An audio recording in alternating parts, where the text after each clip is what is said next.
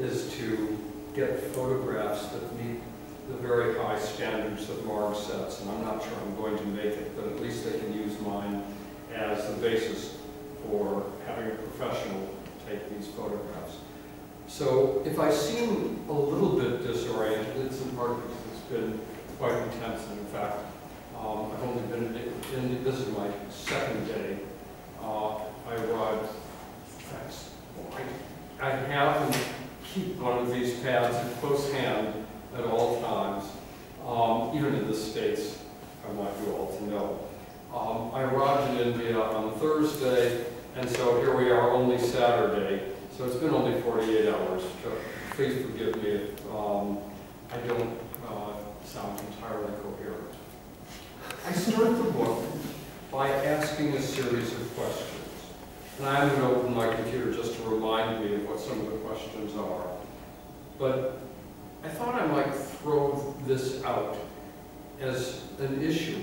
And then as I do, um, let me bring in, in a way, the environment when I think about Nalanda.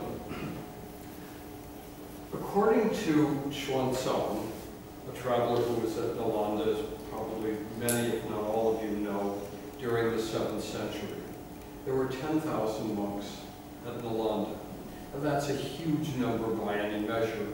And as one of the participants in the January seminar effectively told me, explained to me, 10,000 is simply a round number that means a great deal.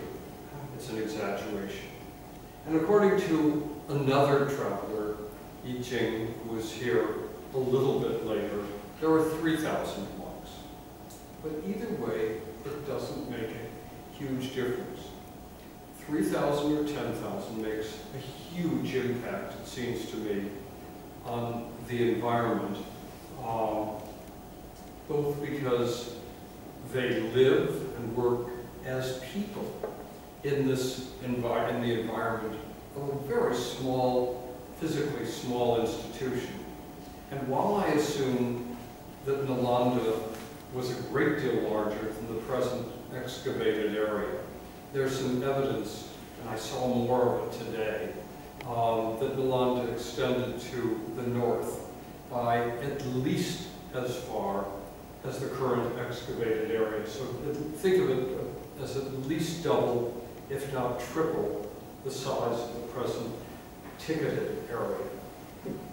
But even that notwithstanding, to hold 3,000 or maybe even 10,000 but in any event, a great, great number of monks would have required a great deal.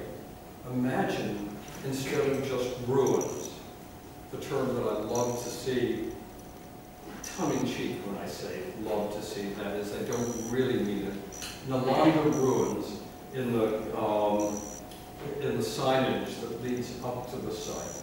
Because it, it's so much more than ruins. Yeah. And I think in our minds, it's very important to project people back onto those buildings or the remains of the buildings.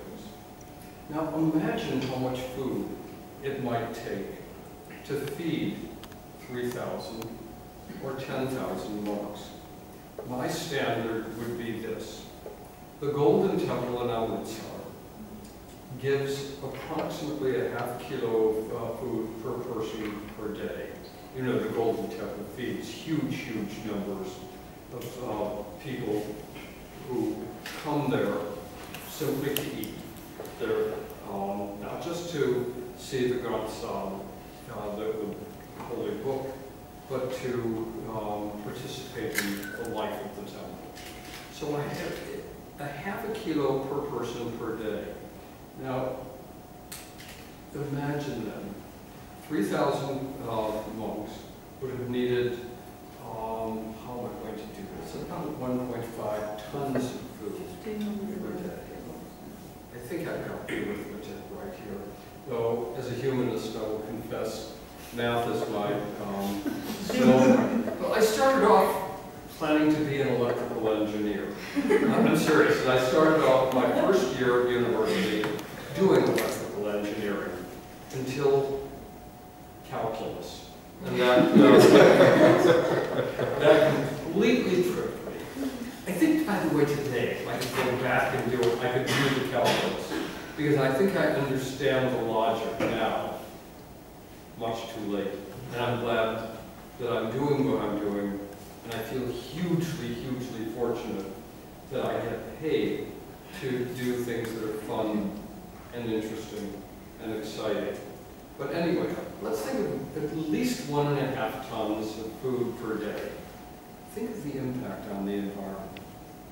Think too of the support team that all of those monks who produce neither goods nor services would require.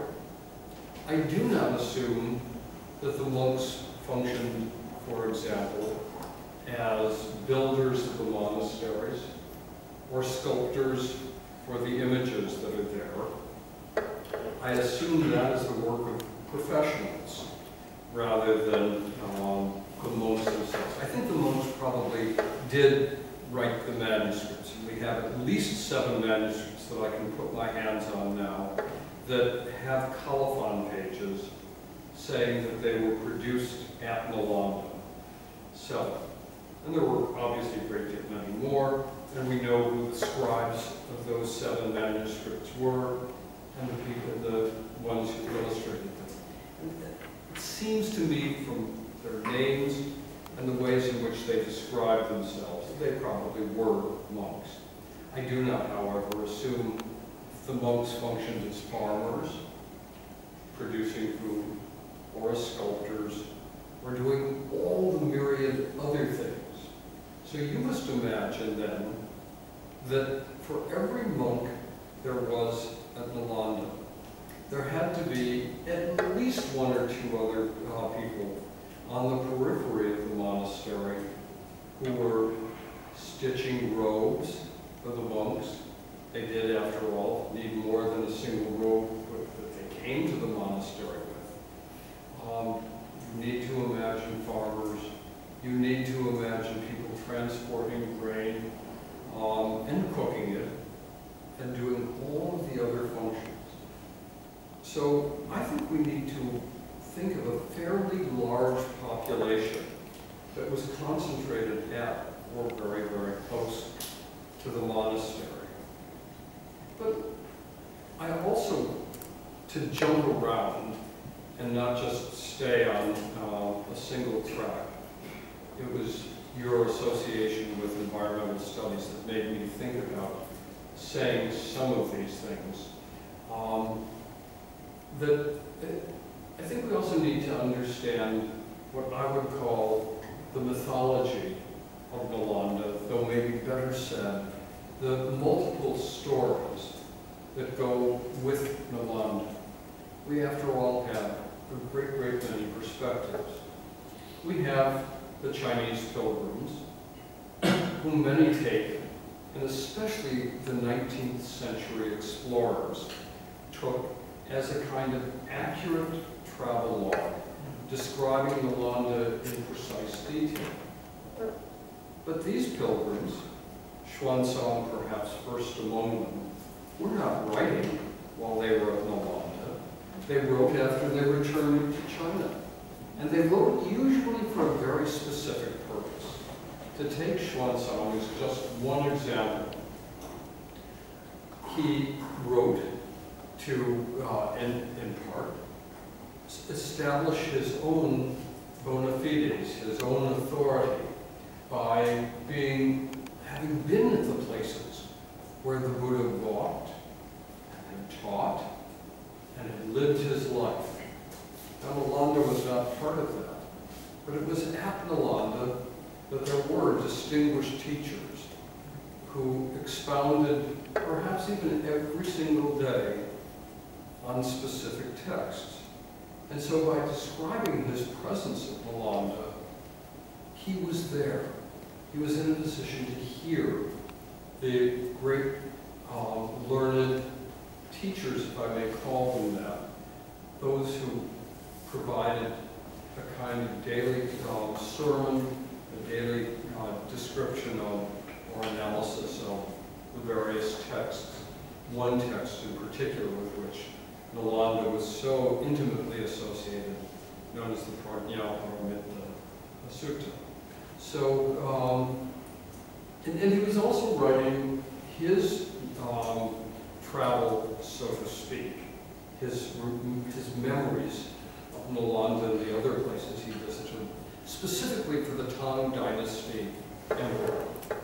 And so if he says that kings in India were very generous to the Buddhists, and he says that repeatedly, citing Harshavardhana, among others, who was his contemporary, and harking back to the Guptas, and of course even invoking a Ashoka,